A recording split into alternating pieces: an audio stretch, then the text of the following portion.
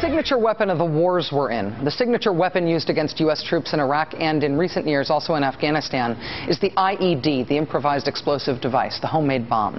Because of that, American troops' signature wound from these wars is traumatic brain injury. Traumatic brain injury and or post-traumatic stress, both of which are relatively hard to diagnose and hard to treat.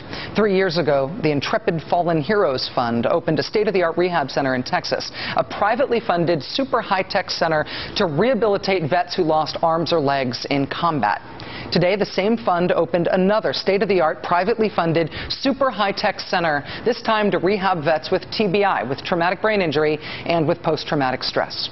It's a huge 72,000 square foot facility. There's nothing like it in the world. It's on the campus of the National Naval Medical Center in Bethesda. But again, it's a privately funded thing. They call it NICoE, the National Intrepid Center of Excellence.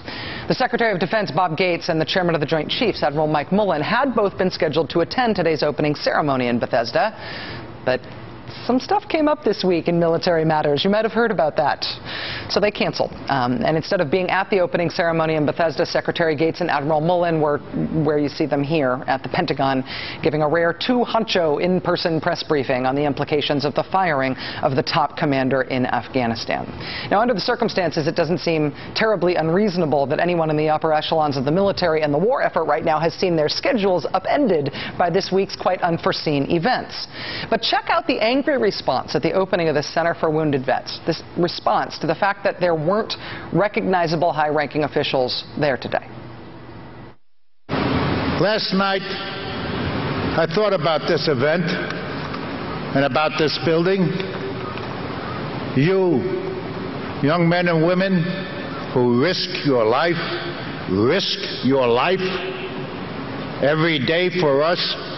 And I thought about the way we care for them, and I got angry. I was angry because here we are in the nation's capital, the seat of our government, the very people who decide your fate, the people who send you out to protect our freedoms, and yet, where are they?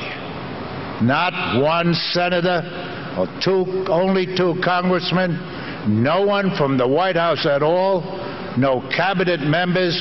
Where are they? And while we appreciate that much,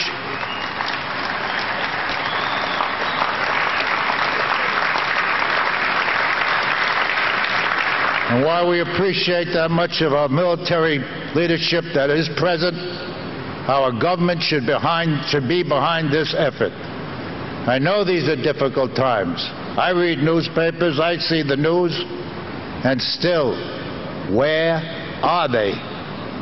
They call you out. You are injured. We are all here. Where are they? I know where they are. They're in Washington dealing with the fact that the president yesterday just fired the guy in charge of the war effort.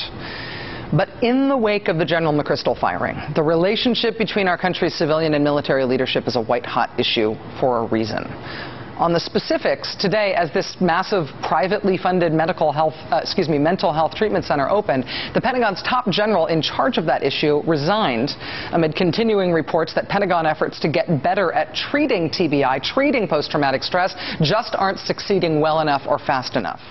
On the political side, as the White House revels in the compliments on how strong the president looks for taking command and firing a rogue general, the fact remains that General Stanley McChrystal was very popular among rank and file troops on the war effort more broadly, even as liberals like me lament the escalation of the war and the counterinsurgency doctrine that seems to call for a never-ending escalation.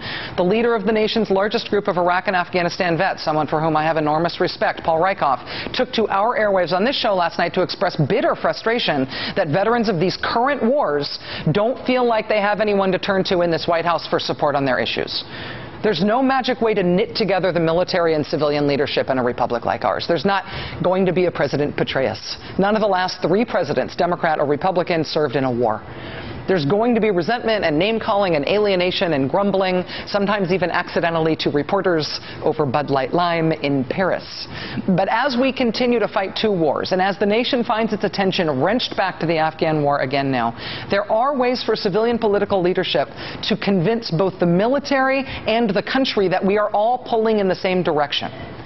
I don't believe it's about just showing up to the right ribbon cuttings. I'm, I'm not an optics person, and neither are you. If the memory of George W. Bush in that flight suit, flight suit still makes you throw up a little bit in your mouth, uh, it's not about optics. It's not about style. It is about substance.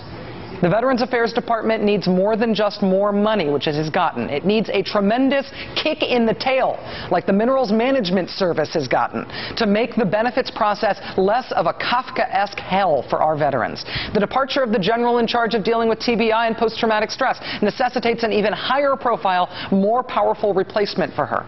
The White House needs to know that young veterans of America's current wars feel out of the loop, and they need a high-placed ally with some pull. And politically on the war effort, if we really are supposed to believe that this unity of effort, it's not just a military thing, counterinsurgency doctrine, uh, if we're really supposed to believe in that, then we're probably due to hear that post-McChrystal, the leaders on the civilian side, Karl Eikenberry, Richard Holbrooke, even Secretary of State Hillary Clinton, are also having their feet held to the fire on what we're doing in Afghanistan. That they also know their jobs are on the line if they look out for themselves and their own fiefdoms more than the mission. There is no magic way to close the inevitable and probably healthy gap between military and civilian leadership.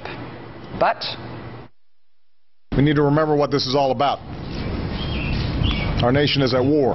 Our nation is at war, and there is work that still needs to be done to remind us that really it is our nation at war and not just our military on their own.